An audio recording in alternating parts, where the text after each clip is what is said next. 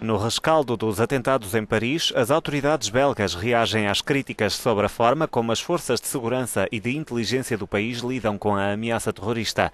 A mega operação policial desta segunda-feira, no bairro de Molenbeek, terminou sem a captura de Salah Abdeslam. O jovem está em fuga desde os ataques de sexta-feira na capital francesa.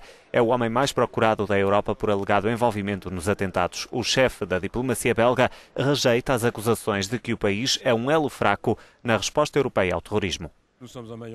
Somos um elo forte, tentamos lutar de forma eficaz. No início do ano, todos felicitaram uma operação em Verviers e em Bruxelas. Permitiu evitar um número de possíveis atentados terroristas. Vamos fazer tudo para cerrar fileiras e desmantelar outras organizações em que os terroristas sejam franceses ou de outras nacionalidades.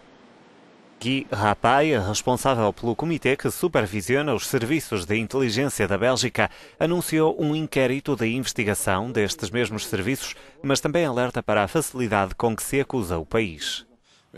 Talvez seja um pouco fácil para os franceses atribuir responsabilidades aos belgas.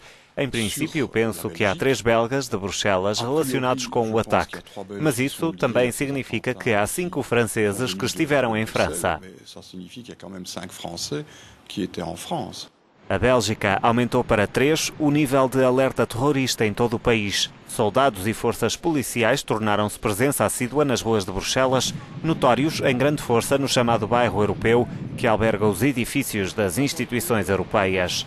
Perante os alertas de risco de atentado terrorista, o encontro particular entre a Bélgica e Espanha, agendado para esta terça-feira no estádio Rei Balduino, a escassos quilómetros de Molenbeek, foi cancelado.